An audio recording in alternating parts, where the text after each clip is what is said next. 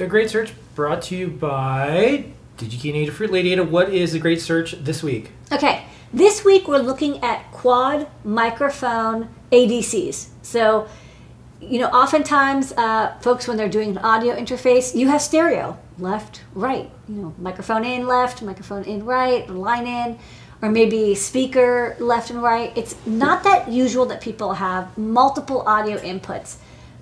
However, um, this Echo Dot Teardown has four microphones because you need four microphones to do uh, voice location. And on board is this chip, the ADC 5140. It says TI on it, so I know it's a TI chip. And I thought, let's take a look at it and then maybe even make a breakout for this uh, nifty chip because if it's in the Echo Dot, it's probably a pretty good chip. So, um, going to DigiKey, uh, you can just search for ADC 5140. And um, there's an eval board, and it's like 300 bucks. it's like 250 bucks. I'm sure it's a great eval board, and it has like this XMOS chip, which if you remember from EYE ON NPI, we talked about this XMOS chip. It takes the I2S data and actually does a lot of the algorithm work for you um, to like automatically give you. Uh, they have like a you know a ready to go program that takes this quad microphone data and give you gives you the location data. Um, I think here's like the microphones are on the square here somewhere. Anyways, um, so let's check out the chip itself.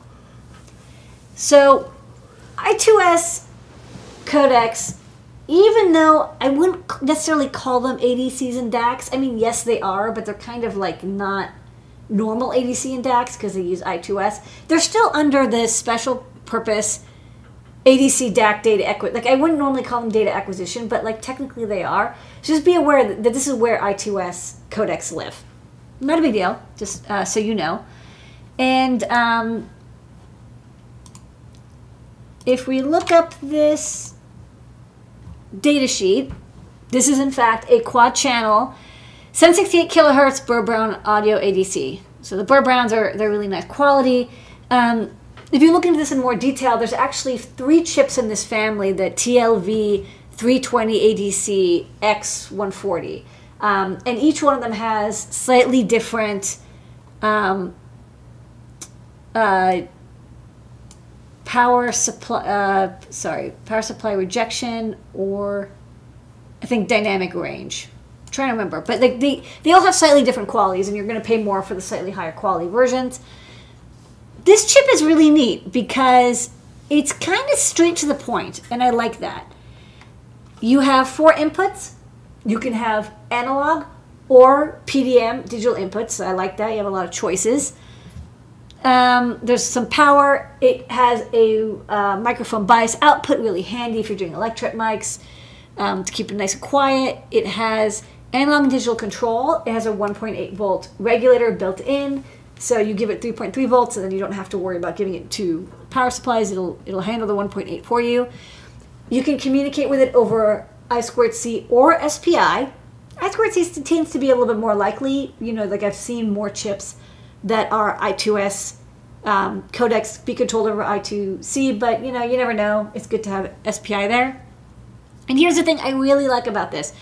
Besides the shutdown pin, which is very handy for when you want to, you know, you, you keep it low so you don't have any noise come in. Especially for speakers, you want it to be muted. But you notice you don't need an M clock pin. You have F sync, B clock, and data out. And so you don't need an M clock pin, which makes it really good for use with a Raspberry Pi computer. There are some chips that don't have an M clock or like driving the M clock for I2S is like it's unavailable or it's hard to use or something. Especially the Raspberry Pi, it's one of like the most popular boards that I use that does not have a master clock pin.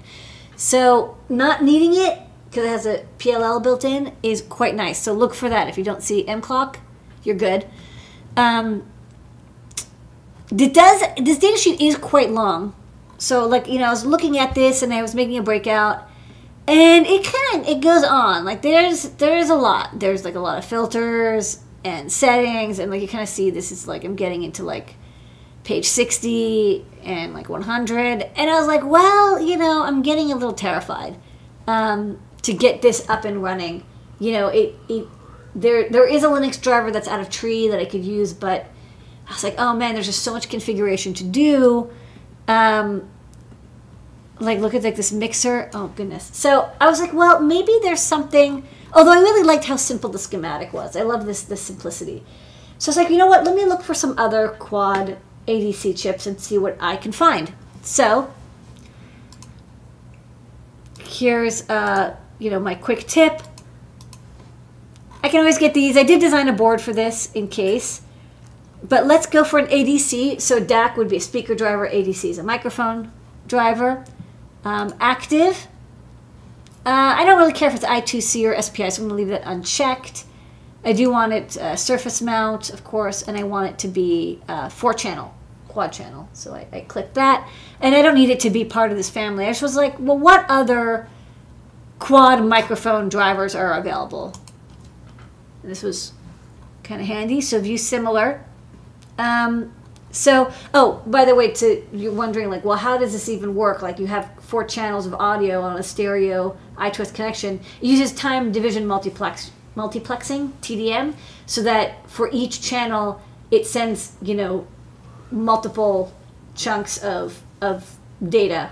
So you like you have your driver has to know to read you know 64 bits of data on each channel and then you get the 32 bits out or 16 bits on each uh, 32 bits on each channel cut it in half and you get 16 bits for each microphone you know two on the left two on the right basically but whatever um, okay so let's look at what we've got so what i thought was interesting is this i don't know how this is sorted but there was this chip um, right here the PCM 1840, and it's also a, a quad, it even says quad channel 32 bit, um, 192 kilohertz audio. And it was even the same package, which I thought was neat, and it's I2S PDM, uh, I2S TDM.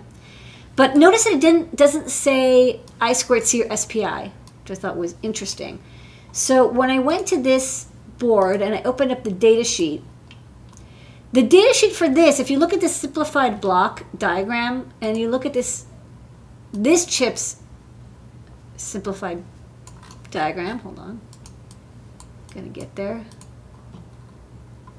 is you'll notice that it's like, wow, they just totally use like the same graphics. But what really is going on is this is almost exactly the same chip. Now, there, there's a couple differences in it, you know, with with the pinout, um, because the PCM 1840, what's interesting is that it's, it's almost pin compatible, but it doesn't have an I2C interface for configuration. Instead, it uses only bootstrapping pins. So FMT0, format 0, and MD, which I think was mode 0, there's these one, two, three, four, five, these five pins, and that's how you configure the output. So you, you can set some different uh, filters, and you can set up um, how you want the TDM I2S out to come out. And you can only use I2, sorry, you can only use analog microphones, you can't use PDM, but it's a lot simpler to use. Datasheet's only 40 pages long. They show you here's, you know, the couple, there's a couple different settings. Look, you can only do four things with it. You can have it be, you know, four channel output TDM, two channel, two channel. You can either have it be um, slave mode, which means something clocks it to get data out, or the other way around, where it pushes data out on its own clock. And I kind of liked that this was a just hardware bootstrapped chip. I thought this was a very interesting chip. So I'm glad that, you, you know, when I looked at one chip that I thought was interesting, take a look around. See what other chips are in that family, even if this one has a totally different part name. But it turns out that this will work much better for me. Um, it's less expensive it, there's tons of them in stock. There's like twelve thousand in stock or something ridiculous. What's yeah. the price? And this is about two twenty five in quantity. Um, but it's got that reliability of a, a TI I2S chip. Can I find less expensive ones? Sure, but I want something that I know will work. And I know that TI, when they're making these, they're making these for companies doing voice assistant. This isn't a new thing. TI and Burr Brown have been doing this for a long time, so I trust that I'll be able to get good data out of it. I won't have to worry about, um, you know, as, as, long as I follow their layout, I won't have to worry about noise creeping in or, you know, like weird configuration settings. So this chip is really cool. I was really psyched to see this. So I picked this up, and um, here's the breakout that I'm designing for it to get started with experimentation. So because I don't need to write a driver for it, I can start up a Raspberry Pi and just load up this simple ALSA I2S driver with quad inputs and TDM, you know, TDM uh, multiplexing, and then I can just pipe the data in, and I'm going to see. Hopefully, it'll just work, and that'll be really cool because I don't want to have to deal with a kernel driver if I don't have to. So that's my great search chip. Um, today's tip is always look for similar chips even if the part number is not the same, you might find something better than what you've already found. That's a good PC search. 1840. Digging it.